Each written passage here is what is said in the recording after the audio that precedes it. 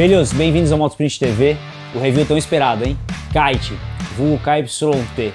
Para você que não conhece, essa marca nasceu em 1998, foi uma ideia com DNA Racing dentro da fábrica, que é fundada desde 1980, uma das maiores do mundo, e tem um trabalho excelente, uma marca que tem a maior presença hoje em pista, em campeonatos com o Mundial de Moto Velocidade, e a cooperação de diversos pilotos. A gente vai deixar uma foto aqui também de todos eles, que traz o feedback num uso mais agressivo. Fora isso, a tecnologia desse capacete e o desenvolvimento tem uma sede na Itália que faz todo o trabalho com software mais irado possível, atualizado. Tem o uso do KSD 3D, do CAD 3D, do CFD. Então você tem muito detalhe nesse capacete, o que faz com que ele seja muito prazeroso de usar e ao mesmo tempo com muita aerodinâmica e leveza. Outro ponto positivo é que foi homologado pela FIM e a FIM tem um teste de mais de 20 pontos no casco, então isso faz com que seja um produto de muita segurança e muita eficiência para um uso hardcore e principalmente para você também que vai usar no urbano, porque lá é o teste mais rigoroso que tem de todos eles. Então isso faz com que você tenha uma credibilidade no produto muito grande. Fora que o conceito é jovem, arrojado, sofisticado, é atualizado, é um casco que é bonito, réplicas de piloto. Então eu tenho certeza que você vai vestir e vai ser muito feliz aqui. E agora a gente vai apresentar cada um deles. Fica comigo e acompanhe esse review.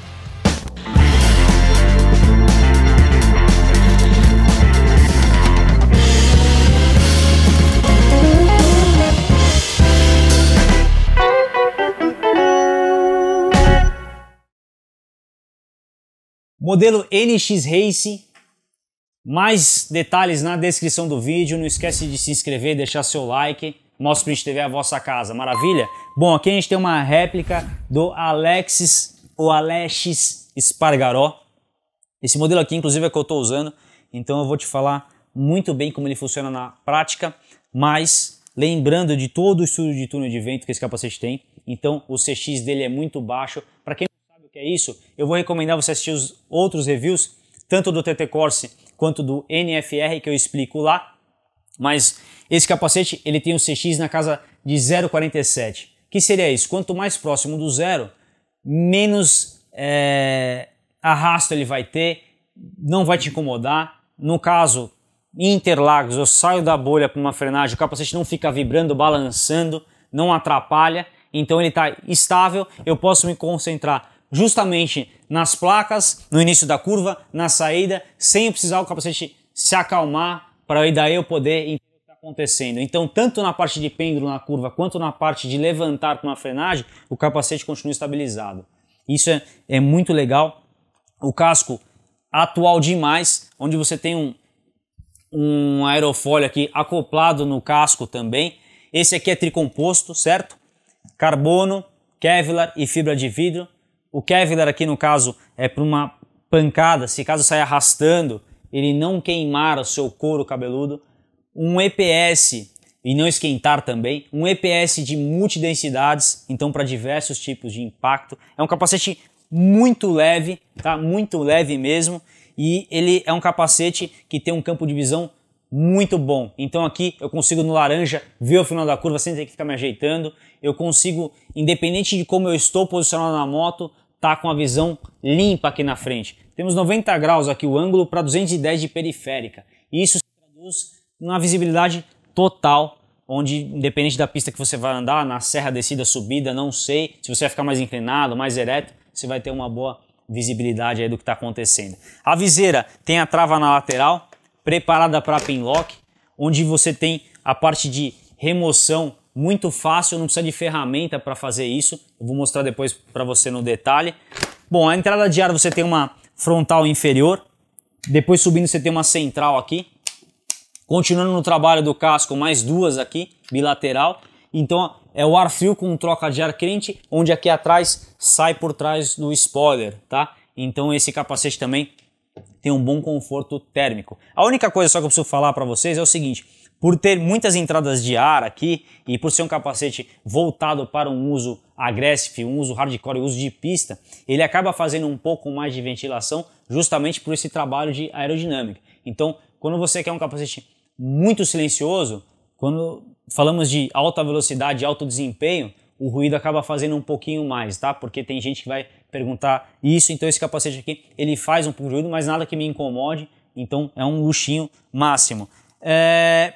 Que mais eu posso falar para vocês? A parte do forro, deixa eu colocar aqui a, a espuminha.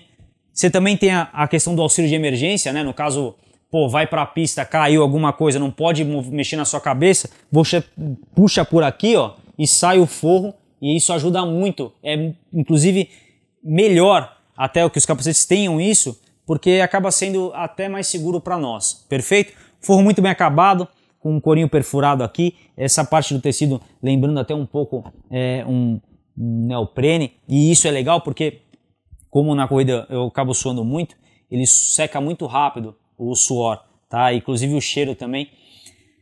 Eu estou usando ele faz umas umas sete vezes, o cheiro continua impecável, tá? Então é um capacete que, por secar rápido, ele vai evitar também ficar muito cheiro. Por enquanto é o feedback que eu estou dando para vocês. Bom, a bavete ela sai, a narigueira também se você quiser. A narigueira não incomoda, é uma narigueira que está num tamanho bom também, e isso é legal. Ela auxilia também o fluxo de ar para baixo. Ele também vem preparado para óculos, então se você usa óculos, a haste vai ficar bem segura aqui também.